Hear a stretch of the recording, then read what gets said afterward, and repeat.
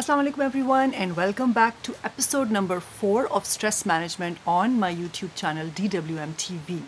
I am Farheen और हम बात कर रहे हैं स्ट्रेस मैनेजमेंट की और इस एपिसोड में हम ये जानेंगे कि what are the three types of stresses कौन से तीन ऐसे स्ट्रेसेस हैं जो हम सबको होते हैं? uh, क्या टाइप है उनकी? According to American psychology association which is A P A और अब तक हम ये तो जान चुके हैं कि कौन सी ऐसी चीज़ें हैं जिससे किसी भी इंसान को स्ट्रेस हो सकता हो सकता है in in the last two episodes तो आज हम ये जानेंगे तो according to that American association of psychology association की बात कर रही हूँ मैं, कि there three type of stresses एक होता है एक्यूट स्ट्रेस एक होता है episodic stress and the next one is chronic stress तो हम सबको ये तीन टाइप ऑफ़ स्ट्रेसेस होते हैं, और अगर हम इनके बारे में जानेंगे कि ये कैसे हैं, कौन से हैं तो हम इस आइडेंटिफिकेशन के बाद इनको बेहतर तरीके से मैनेज कर सकेंगे, जो हम सीखेंगे अपनी नेक्स्ट एपिसोड uh, में यानी कि last episode of how to manage stress ठीक है? तो अभी हम ये जानेंगे कि ये कौन से होते हैं।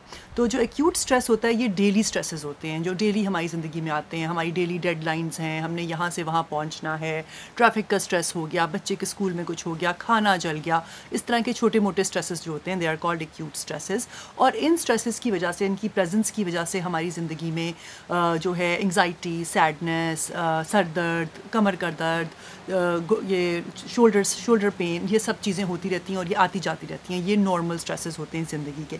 मगर बहुत दफ़ा ऐसे होता है कि ये इस तरह की चीज़ें कुछ ना कुछ अपना छोड़ जाती हैं, साथ हमारे चीज़ें एक्सटेंशन होती हैं उनकी, जो कि हमारे दिमाग में रिप्ले होती रहती हैं। किसी ने कुछ कह दिया, हम वो सोचते रहते हैं, हर वक्त सोचते रहते हैं, ऐसा क्यों हुआ, हम इसको कैसे ठीक करें फ्यूचर के बारे में सोचते रहते हैं। तो वो हमारे साथ रहती हैं और फिर वो चीज़ें जो होती हैं वो उस स्ट्रेस को बढ़ा देती हैं। क्योंकि आप देखें ना ऑलरेडी आप ऐसी बातें सोच रहे हैं, उसके बाद ऊपर से डेली स्ट्रेसेस तो आएँगे, ये तो होगा। ज़िंदगी जिएँगे तो छोटी मोटी चीज़ें तो होंगी। लाइफ इज़ नॉट परफेक्ट इस तरह किसी का दिन नहीं गुजरता कि उसमें हर चीज़ हंड्रेड परसेंट वैसी हो जैसे उसने प्लान की है, ठीक है? तो ये आपकी एक अपनी एक्सपेक्टेशन हो गई मैनेज करने की अपने आप से।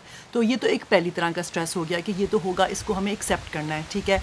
फिर जो एपिसोडिक स्ट्रेस है, वो होता है ज़्यादातर इन्वायरमेंटल जैसे कि हम जहाँ रहते हैं, घर का माहौल कैसा है, जैसे हम कहीं कहाँ, काम करते हैं, आपका जो मैनेजर है या बॉस है या कॉलीग्स हैं, वो अपने स्ट्रेसेस आपके ऊपर अनलोड करते हैं। या आपका हस्बैंड है या वाइफ है, वो अपने स्ट्रेसेस या आपके पेरेंट्स हैं, वो अगर अपने स्ट्रेसेस आपके ऊपर अनलोड करते हैं तो दो, वो एक एपिसोड्स होती हैं जो आती हैं, क्योंकि वो चौबीस घंटे तो अनलोड नहीं कर रहे होते हैं ना। जब उनको स्ट्रेस होता है, वो आप पे अनलोड कर देते हैं। तो उस, ये एक एपिसोड्स होती हैं स्ट्रेस की जो आती रहती हैं। और फिर होता ये है कि उसका ओवर टाइम इफ़ेक्ट होता है। क्योंकि हम कहते हैं कि अच्छा ये तो मेरा मैनेजर ऐसा है, इसने तो ऐसे करना ही है, या मेरी बीवी ऐसी है, ये तो मुझे हमेशा इसी तरह के स्ट्रेसेस देती है।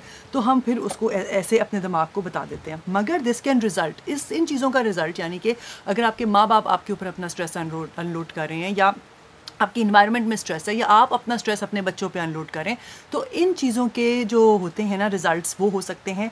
ओवर ईटिंग के, या ज़्यादा खाना शुरू कर दें बिंज वॉचिंग करें टीवी बहुत ज़्यादा देखना शुरू कर दें, और फिर इस तरह आहिस्ता आहिस्ता आपकी ज़िंदगी से मज़ा चाहता रहता है, ठीक है? क्योंकि आपको हर वक्त लोग स्ट्रेस दे रहे होते हैं, या आपसे, आप उनसे स्ट्रेस ले रहे होते हैं, इस तरह की चीज़ हो जाती है। तो ये एपिसोड्स बन जाती हैं जिसको आप मैनेज करते हैं by you know doing these things cigarette नोशी भी आ सकती है उसमें डिफरेंट चीज़ें आ सकती हैं.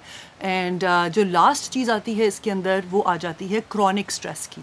और क्रॉनिक स्ट्रेस जो तीसरी टाइप है वो क्या है? वो जो ओवर द ईयर्स बिल्ड हो जाता है. तो अब एपिसोडिक स्ट्रेस भी जो है वो क्रॉनिक में जा सकता है. Uh, तो मगर ज़्यादातर क्रॉनिक स्ट्रेस शुरू होता है सीरियस लाइफ प्रॉब्लम से। जैसे आपकी ज़िंदगी में पैसों का मसला है, या खुदा ना खास्ता कोई इलनेस है, कोई बीमारी है, कोई माजूरी है, कोई इस किस्म की चीज़ें हैं it could be anything गुस्से की बीमारी भी हो सकती है, कुछ भी हो सकती है।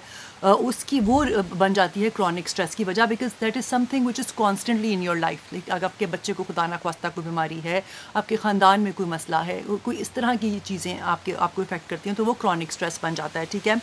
तो फिर क्या होता है कि आ, आ, उसके नतीजे में हम जो है आपने ये नोटिस करना है कि अगर आप क्रॉनिक स्ट्रेस में हैं और आपकी ज़िंदगी में कोई ऐसे मसले हैं तो आ, उसके नतीजे में होता ये है कि हम ओवर रिएक्ट करना शुरू कर देते हैं। हम हर वक्त गुस्से में रहते हैं। बिकॉज़ हमें ये लगता है कि हम ऑलरेडी एक स्ट्रेस से डील कर रहे हैं उसके बाद और चीज़ें हमारे ऊपर क्यों आ रही हैं ठीक है ना? तो और वो फिर होता, वो रिज़ल्ट करता है, उसकी वजह से फिर हम अपने मैनेज नहीं कर पाते इमोशंस और हम जो है टेम्प्रेरी सिचुएशंस को समझते हैं कि ये परमानेंट है, कि पता नहीं मेरे साथ, मेरे तो किस्मत ही ख़राब है या मेरे तो हालात ही ऐसे हैं, मैं तो कभी भी खुश नहीं रह सकता। तो इसके लिए बहुत ज़रूरी है कि हम ये तीनों स्ट्रेसेस को आइडेंटिफाई करें और देखें कि हम उनको उसी जगह पे रखें जहाँ पे वो हैं।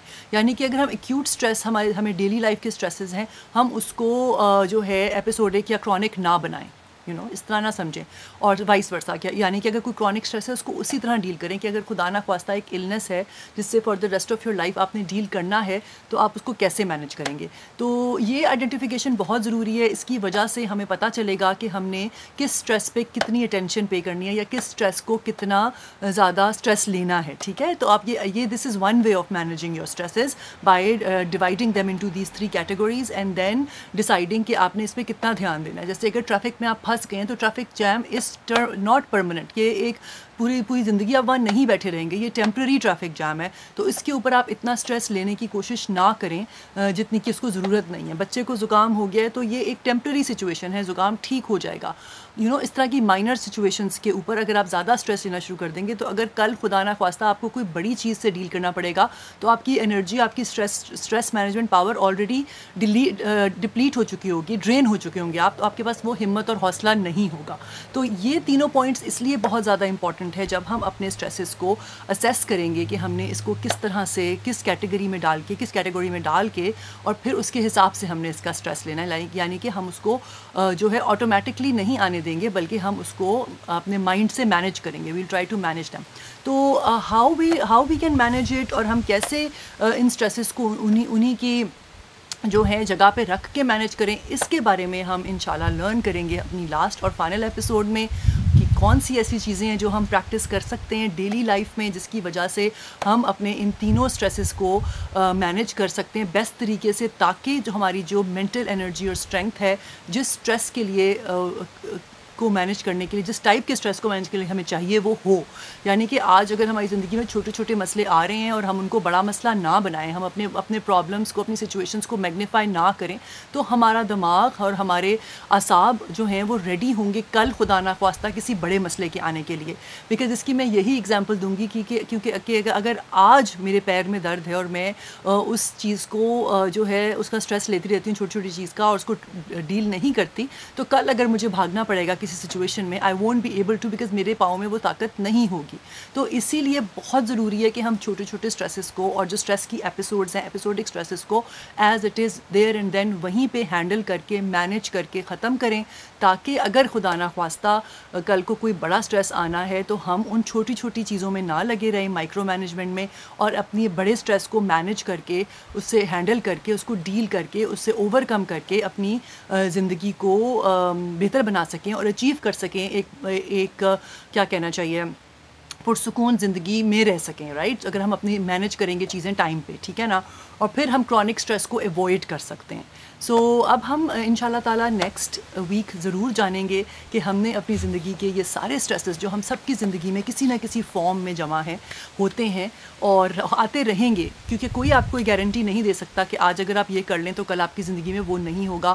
कल क्या होना है ये किसी को नहीं पता। हम सिर्फ़ आज के ज़िम्मेदार हैं ताकि अगर हम आज को मैनेज करेंगे तो सिर्फ़ तभी हम, हमें एक अच्छा पास्ट और एक अच्छा फ्यूचर मिलने की उम्मीद होगी, ठीक है ना? So we all we have to do is try our best today live in today live in this moment इस इस लम्हे में जो मेरी ज़िम्मेदारी है, मुझे वो करने की बेस्ट ज़रूरत है और तभी मैं अगले लम्हे की ज़िम्मेदारी पूरी करने के लिए तैयार होंगी, क्योंकि अगर मैं अपनी सारी एनर्जी को इस लम्हे में गलत तरीके से ज़ाया कर दूँगी, एक छोटी चीज़ के ऊपर अपनी सारी एनर्जी वेस्ट कर दूँगी तो अगले लम्हे को मैं कैसे इन्जॉय करूँगी?